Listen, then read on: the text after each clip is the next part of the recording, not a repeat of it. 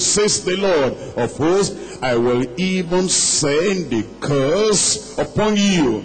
It's a preventable curse, a preventable calamity that shouldn't have been. But he said, if you will not lay to heart, that's what I'm going to do. I will curse your blessings. Then he said, yea, I have cursed them already because you do not lay it to heart. It's the transgression of indifference that the Lord is saying that should not be. And then we're looking at Judges chapter 5. Judges chapter 5. In Judges chapter 5, we're looking at verse 23. What the Lord expects of his own people. Lay to heart. Think about it.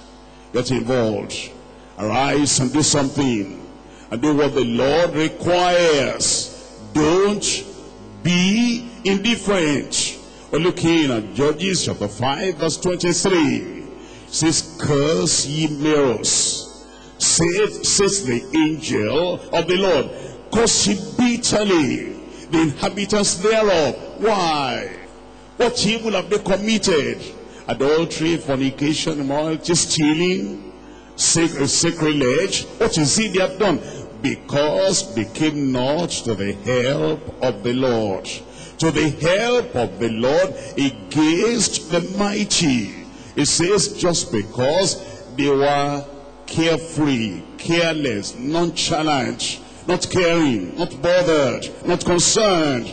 And because they came not to the help of the Lord, and he said, well, that's all right. Gideon is there. Gideon is doing it. And he said, they are there. Deborah is doing it. And they said, Barak is there. And all those people are there. What do I need to worry? The 300 people following after Gideon, they are all there. And those apostles are there. Those disciples are there. All the soul winners are there. What have I got to do? I'm all right. Since everybody is there already, what can I add to what they're doing? That indifference brings calamity and brings tragedy. I pray God will save us from all that tragedy in Jesus' name. I was waiting for your amen there. I just want to, you to keep awake. You know, sometimes like this, when I open Old Testament, New Testament, the prophets and the kings and Gospels and Acts and Romans, Revelation, everywhere, then you say, okay, go on, Pastor, and let me sleep. When you're ready to pray, call me, I'll join you. Everybody wake up. Say, we're waking up.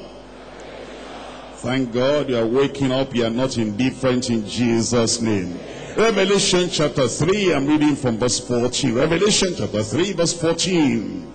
And to the angel of the church of the Laodiceans write, This thing says the Amen, the faithful and the true witness, the beginning of the creation of God. I know your works that thou art neither cold nor hot. I would thou art cold or hot.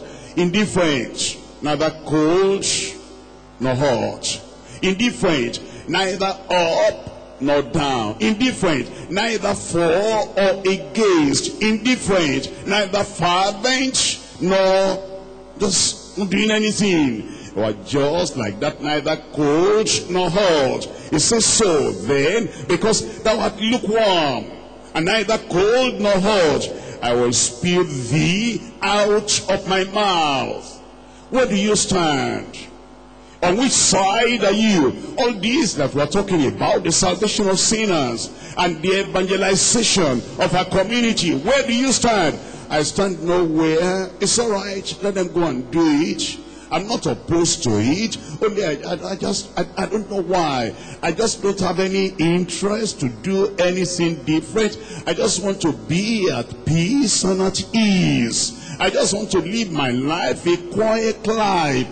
Get something done. No, it's too late for me now. I don't know the way my heart is. It's like I'm not interested in anything anymore. And the Lord is saying, because you are neither cold nor hot, I will spew thee out of my mouth. Because thou sayest, I am rich. What else am I looking for? I'm increased with goods. What else am I searching for? And I've need of nothing. What do I need again? I've done enough, I've got enough, I possess enough. Because of that, you're indifferent to the call of the Lord. And then it says, And knowest not that thou art wretched and miserable and poor and blind and naked. I counsel thee to buy of me gold tried in the fire, that thou mayest be rich and white raiment, that thou mayest be clothed, and that the shame of thy nakedness do not appear. The people that are indifferent, they're naked spiritually. And because they say, okay, it's not my concern. I'm not asking for anything. I'm all right the way I am. I don't have to do anything anymore. That coldness, that lukewarmness, it says that makes you naked. And then it says, anoint thine eyes with eye salve, that thou mayest see. As many as I love, I rebuke. As many as I, what? I hate. Tell me out loud. As many as I love, I rebuke and chasten. Be zealous therefore, and do what? And repent. Don't be indifferent. Behold, I stand at the door and knock. If any man hear my voice and open the door, I will come in to him and will sup with him and he with me. The Lord wants us to, to be active to get up and get something done and not to be indifferent prevailing over the transgression of indifference. Point number three now. We need to deal with the tongue of iniquity. The tongue of iniquity.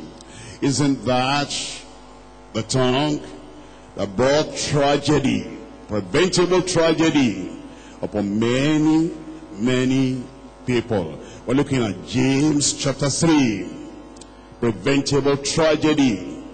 The tragedy of an untamed tongue, uncontrolled tongue, unguarded tongue, unguided tongue. James chapter 3, verse 6. And the tongue is a fire, a world of iniquity. So is the tongue among our members that it defileth the whole body and setteth on fire the curse of nature. And it is set on the fire of hell. How many people claim to be saved and their tongues bring them to the tragedy of hellfire?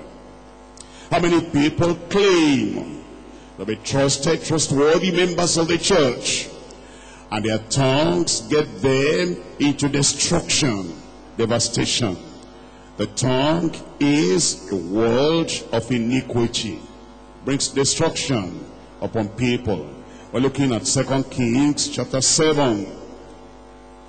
Second Kings chapter 7, reading from verse 1. Then Elisha said, Hear the word of the Lord. That shall silence everybody or of somebody there whose tongue will not be at rest. When you hear, hear the word of the Lord, that should make everybody pay attention and not think about your own thoughts, your own feeling, your own imagination, your own mind. Hear the word of the Lord, that says the Lord. Tomorrow, about this time, shall a measure of flour of fine flour be sold for a shekel and two measures of barley for a shekel in the gate of Samaria. Then a Lord on whose hand the king leaned answered the man of God and said behold if the Lord would open the windows of heaven might this sin be you don't have to say that. If you didn't believe, you could have kept quiet. You can let, just you can just say to yourself, let's wait and see. Look at what the prophet is saying. And look at what the prophet is declaring in his prophecy, prediction.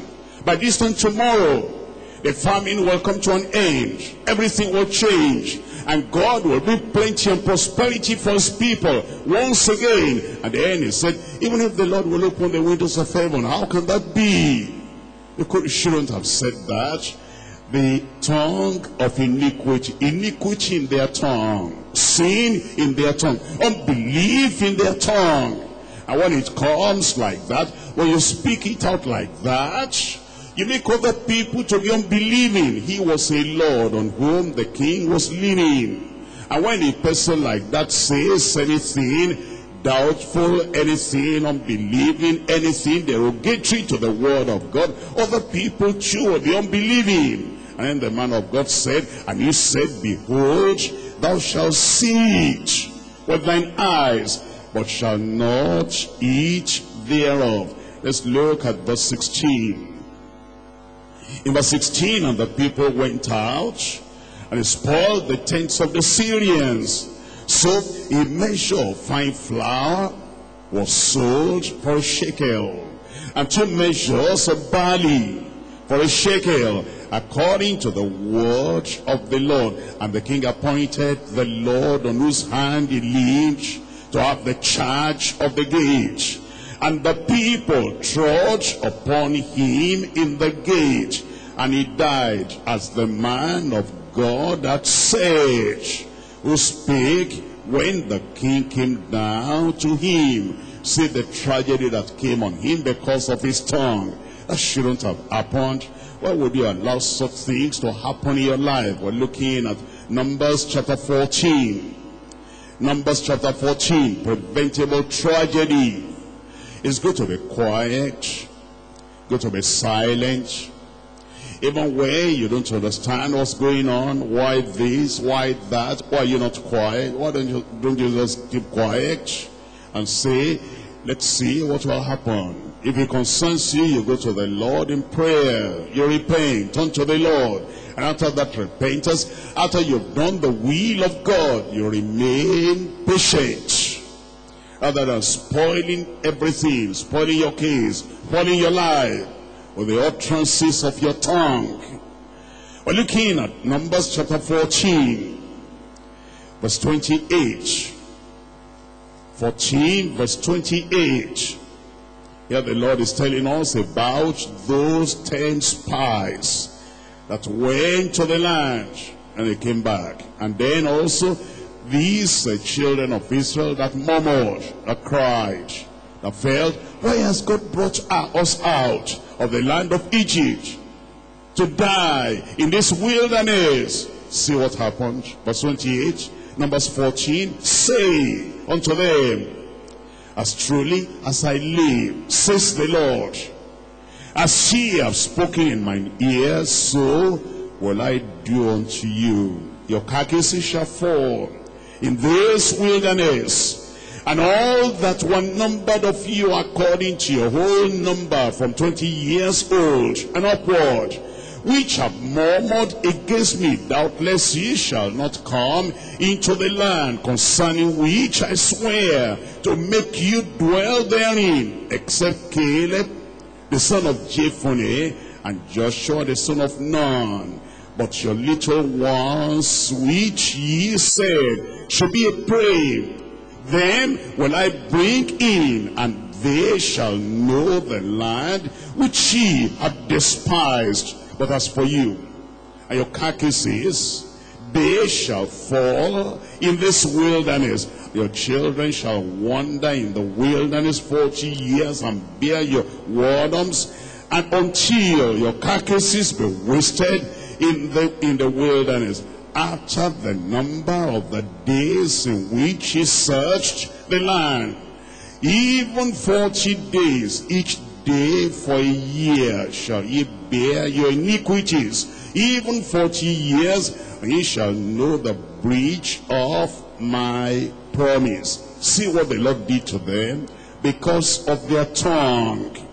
Because of what they said the tongue of iniquity. And do you remember the word of God? I am God, I change not.